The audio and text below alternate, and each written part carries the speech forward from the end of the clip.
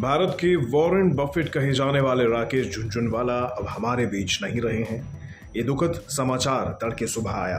राकेश झुंझुनवाला देश के दिग्गज शेयर मार्केट निवेशक के तौर पर जाने जाते हैं। मात्र सात दिन पहले ही उनकी नई बिज़नेस, आकाशा एयर की पहली उड़ान मुंबई से अहमदाबाद के बीच शुरू हुई थी। लेकिन कौन जानता था कि ठीक सात दिन बाद एयरलाइंस के मालिक अब इस दुनिया में नहीं रहेंगे। चलिए, आज हम आपको राकेश झुंझुनवाला क्यों वॉरेन बफेट के नाम से जाने जाते थे, ये बताते हैं। सबसे पहले तो आप वॉरेन बफेट के बारे में जान लीजिए। वॉरेन बफेट दुनिया के सबसे बड़े निवेशक हैं। मात्र 11 साल की उम्र में वॉरेन बफेट ने निवेश की शुरुआत कर दी थी। उनका हर एक अंदाज बड़ा ही अलग होता था। चाहे निवेश करने का तरीका हो या जीवन शैली जीने का, सब बड़ा ही रोचक होता था। यही वजह है कि वॉरेन बफेट आज अरबों डॉलर की संपत्ति के मालिक हैं। वॉरेन की लोकप्रियता का अंदाज़ा आप इसी बात से लगा सकते हैं कि लोग उन्हें निवेश का भगवान भी मानते हैं, शेयर मार्केट और उसमें निवेश के लिए लोग उन्हें आइडियल मानते हैं। उनका इन्वेस्टमेंट टिप्स आज भी लोगों को अच्छा खासा मुनाफा देता है। वहीं राकेश झुंझुनवाला, भारतीयों के लिए वॉरेन बफेट थे। मिडिल क्लास परिवार में जन्मे झुंझुनवाला फाइनेंस बैकग्राउंड से आते थे और स्टॉक मार्केट के प्रति लंबे समय से उनका झुकाव रहा।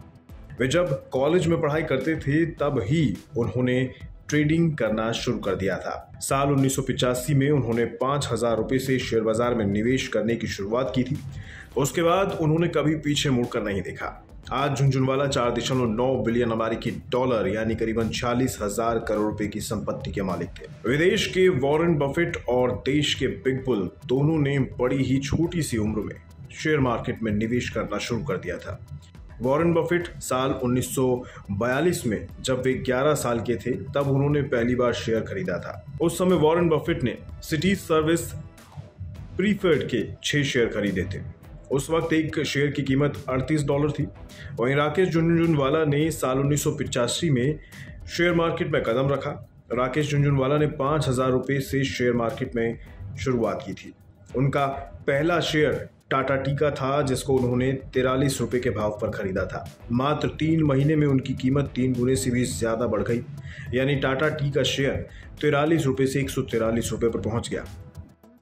इसको बेचकर राकेश ने अपनी पहली मोटी कमाई की। इसके बाद तीन चार सालों में ही राकेश ने 25 से 30 लाख रुपए की कमाई कर ली थी। पैसे से पैसा बनाने का तरीका उनको पता चल गया था। वैसे पढ़ाई के मामले में भी दोनों में समानता देखने को मिलती है। दोनों के पास इकोनॉमी और कॉमर्स की डिग्री है। Warren Buffett Columbia business school से पढ़े हैं। वहीं उनके पास master of science in economics की डिग्री है। राकेश झुंझुनवाला के पास बैचलर ऑफ़ कॉमर्स की डिग्री है। उसके साथ साथ राकेश चार्टेड अकाउंटेंट भी रहे। उनके पास institute of chartered accountant of India से सीए की डिग्री है। दोनों निवेश के भी मामले में एक जैसी सोच रखते हैं। दोनों ही लंबी अवधि के निवेश की सलाह देते थे। उनका मानना था कि छोटी अवधि में लोगों को मुनाफा कम और नुकसान ज़्यादा होता है। इससे बेहतर है कि लोग अपने पैसे शेयर में लगाकर भूल जाएँ। बैंक्स और दूसरी फाइनेंशियल इंस्ट्रूमेंट से शेयर बाज़ार लोगों को बेहतर रिटर्न देता आया है। बस ज़रूरत है पेशेंस रखने की। राकेश झुंझुनवाला मार्केट के मौसम वैज्ञानिक भी कहे जाते हैं। उनकी एक सलाह आज भी बड़ी फ़ेमस है। मौसम, मार्केट और महिलाओं के नेक्स्ट मूव को कोई प्रिडिक्ट नहीं कर सकता। उनकी निवेश करने की प्लानिंग भी बहुत रिसर्च बेस्ड होती थी। वे कंपनी के फंडामेंटल्स और कंपनी की परफॉर्मेंस पर खास नज़र रखते थे। इसके बाद ही खुद निवेश करते थे और लोगों को निवेश के लिए प्रोत्साहित करते थे। आज जब वो हमारे बीच नहीं है तो उनकी कमी लाखों करोड़ों लोगों को खलेगी। देश दुनिया के लोग उनको श्रद्धांजलि दे रहे हैं। हम भी बिस्तक की पूरी टीम की तरफ़ से उन्हें श्रद्धांजलि अर्पित करते हैं।